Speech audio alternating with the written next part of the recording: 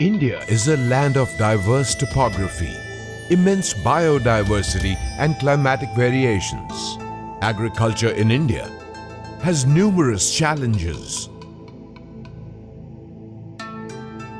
To reach its development targets, India has to face these obstacles with a scientific and systematic approach.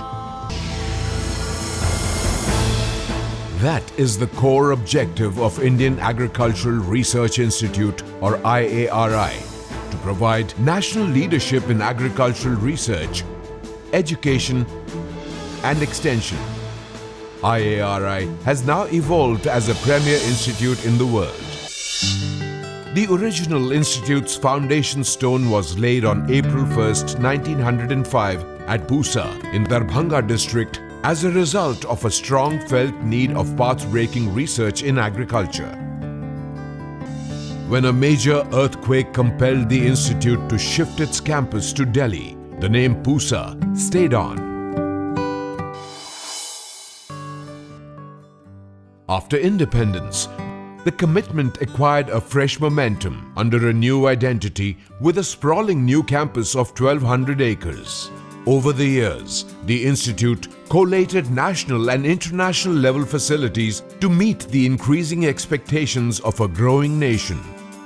To fulfill its designated mandate of conducting cutting-edge fundamental and applied research, postgraduate teaching, human resource development, and an entire range of advisory and extension services. IARI operates through its regional stations, centers and a dedicated Krishi Vigyan Kendra. Over the years, neatly streamlined and innovative interventions have opened up a host of benefits for Indian farming communities. Prime among them is HD 2967, a wheat variety immensely popular amongst farmers and millers of the Indo-Gangetic plains of India. This variety covers an area of 10 million hectares across the country. IARI has developed the Pusa Basmati 1121 is another rice variety from the institute. Popular worldwide for its extra long slender grain with pleasant aroma. In the last 8 years, this variety fetched a revenue of 1.5 lakh crore rupees. IARI has also developed India's first ever bio-fortified maize, rich in provitamin A. All variants developed by Pusa are rich in tryptophan and lysine content. The institute has developed the country's first double zero mustard variety with low erucic acid and glucosinolate content. This is being used to produce Indian canola or indola for a healthy heart. Horticulture is a major aspect for nutritional security and prosperity. The Institute has developed Amrapali, the world's first commercial dwarf variety of mango, covering an area of approximately 2 lakh hectares. The Institute has developed carrot varieties rich in antioxidant and beta-carotene content, fetch a higher price in the market. Vegetable cultivation under protected conditions holds a high promise due to its 5 to 10 times higher productivity, quality of produce and off-season cultivation. This technology provides an income of 3 to 4 lakh rupees per annum from 1000 square meter area. IARI has also introduced a number of cost-effective and eco-friendly technologies, like the integrated farming systems that combine multiple enterprises on a single farm in a cohesive manner. Pusa has been promoting this and developing them with farmers continuously. Technologies like neem-coated urea for improving nitrogen use efficiency in field crops.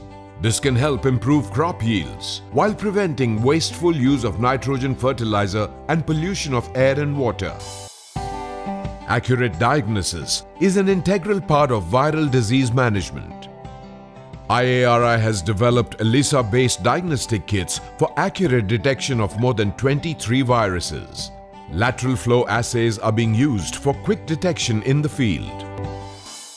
The Institute has also developed rapid composting technology, which converts agri residue into nutrient-rich compost using microbial culture in 60 to 80 days compared to conventional pit composting technology.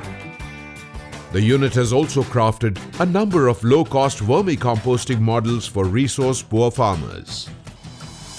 Wastewater management is a major problem. Therefore, IARI has developed a technology of using wastewaters in agriculture. The Institute has also developed EPNs that are environment friendly, naturally occurring biocontrol agents for insect pest management. These are safe and have tremendous scope to improve the productivity of high value crops. To further promote sustainable agriculture, IARI has developed a variety of biofertilizers like Rhizobium, Azotobacter, Azospirillum, BGA, etc. The state-of-the-art, automated and non-destructive plant phenomics facility has been developed at the center. It has been close to 50 years since IARI attained the status of a deemed university. Today, the university is authorized to award postgraduate degree in 26 teaching disciplines. Drawing strength from its wide global recognition, the Institute is busy helping India's neighboring countries to build and run their own apex agricultural institutions. In December 2018, the Honorable President of India dedicated ACARE to the people of the Republic of Myanmar. Here is yet another stronghold the Professor M.S. Swaminathan Library. This citadel of knowledge has been playing the de facto role of National Agricultural Library of India. It is now one of the largest and finest agrobiological libraries in Southeast Asia, housing over 4 lakh publications. Taking the path-breaking research to the farmers was always on top of the agenda of the Institute. To address this, the Institute started various units dedicated to technology transfer. These extension units provide farm advisory services to a large number of visiting farmers. With changing times, many queries of farmers are now being addressed through Kisan call centers and mobile apps. IARI established the single window delivery concept at ATIC to facilitate farmers with diagnostic, advisory and input delivery.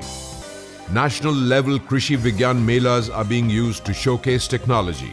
Supported by a visionary leadership, these farming fairs are fast emerging as a beacon of hope and a platform for sharing positive experiences.